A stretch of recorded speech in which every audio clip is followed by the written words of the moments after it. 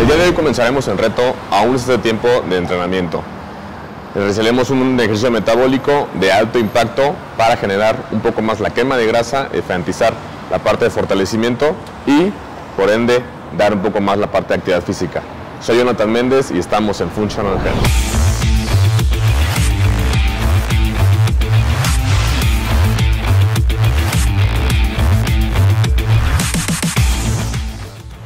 Realizaremos ahora un bunk jump o un salto al cajón, donde nos permite eficientizar la parte del movimiento de las piernas, la parte del glúteo y hacer movimientos repetitivos de la zona de potencia. En esta ocasión trabajaremos en una llanta, podemos trabajar en un cajón un poco más pequeño o un poco más grande si tienes un nivel más óptimo para el entrenamiento.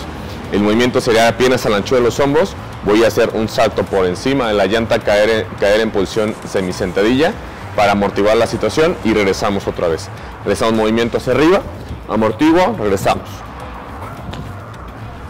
El movimiento sería continuo, la mayor veces repeticiones posibles, durante 20 segundos y descansamos 10 segundos.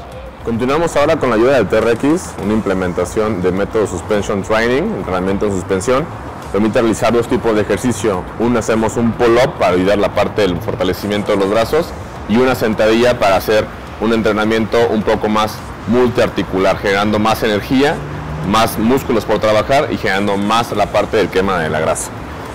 Mantenemos el entrenamiento hacia enfrente inclinado, extiendo brazos, bajo, subo y mantenemos continuo. La mayor repetición posible para poder hacer el movimiento.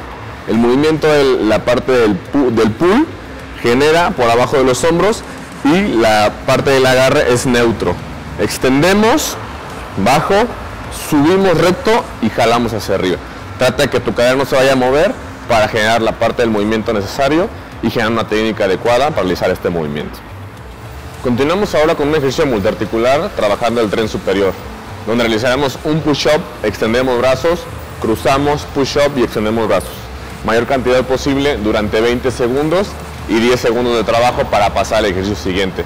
El método, el método sería el siguiente, posición de push-up, bajamos, pecho tierra, regreso cruzado, pecho tierra, regreso cruzado.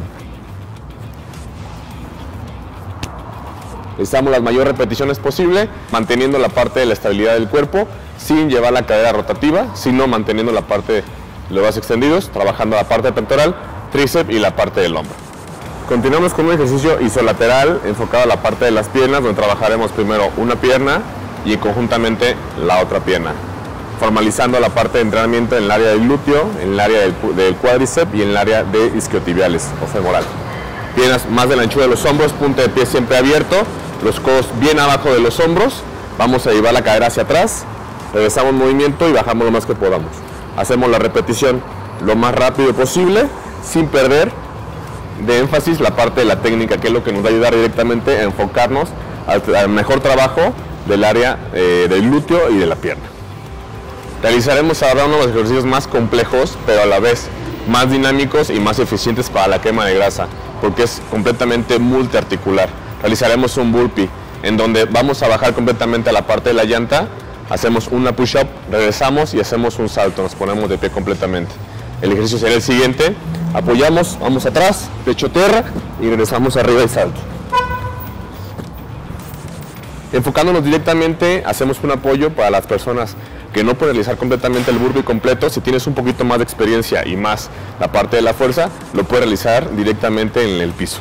Pero como esta vez estamos enfocándonos a las personas que apenas van comenzando, lo vamos a realizar en la parte de la llanta o en un cajoncito para tener un poco más de estabilidad y un poco más de este, facilidad. Ese tipo de movimiento está específicamente enfocado al sistema metabólico, donde lo trabajaremos por intervalo de tiempo, de 20 segundos de trabajo por día de descanso. Si tienes un poco más de resistencia, lo puedes subir de 20 a 25 segundos o hasta 30 y 10 segundos de descanso durante un periodo de 10 minutos o hasta 15 minutos continuos. El entrenamiento completamente lo puedes comenzar desde el primer ejercicio, siguiendo la parte de la secuencia, o completamente comenzando de atrás hacia adelante para que el cuerpo realmente no se acostumbre a ese tipo de movimientos. Lo puede realizar durante una semana o dos semanas, llevando la parte de la carga muscular y aumentando un poco más de la parte de la frecuencia cardíaca. Soy Jonathan Méndez y estamos en Functional Health, Centro de Entrenamiento y Terapia Física.